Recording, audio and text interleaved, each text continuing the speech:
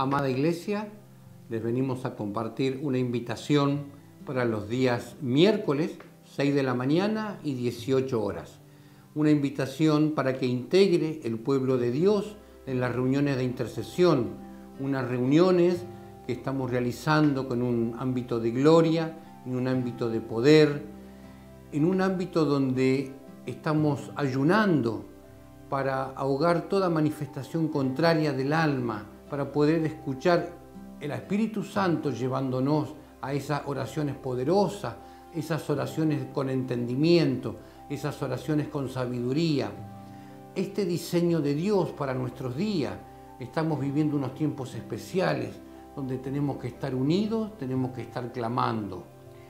Los invito a compartir la palabra del apóstol Pablo, visionario, a la iglesia de Colosa.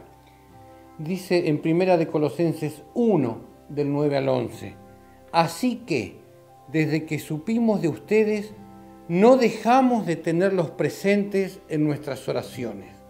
Le pedimos a Dios que les dé pleno conocimiento de su voluntad y que les conceda sabiduría y comprensión espiritual. Entonces, la forma en que vivan siempre honrará y agradará al Señor, y sus vidas producirán toda clase de buenos frutos.